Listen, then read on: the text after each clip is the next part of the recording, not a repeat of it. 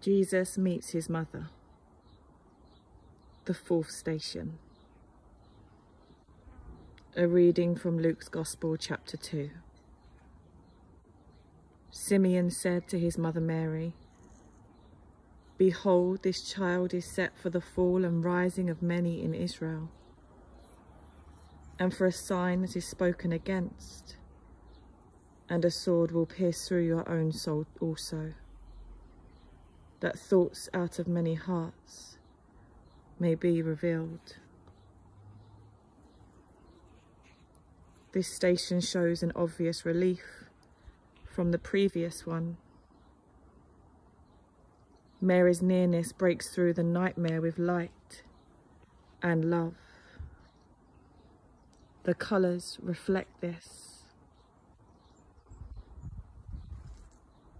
Mary was the one who was most able to help and strengthen him,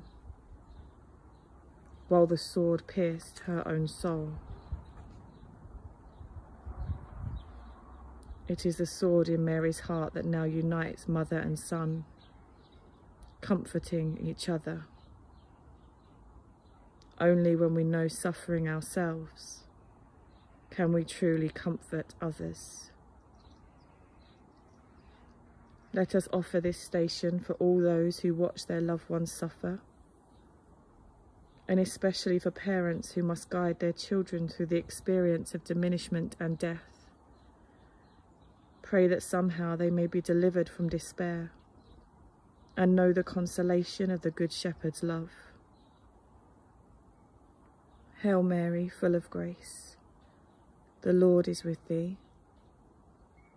Blessed art thou among women, and blessed is the fruit of thy womb, Jesus.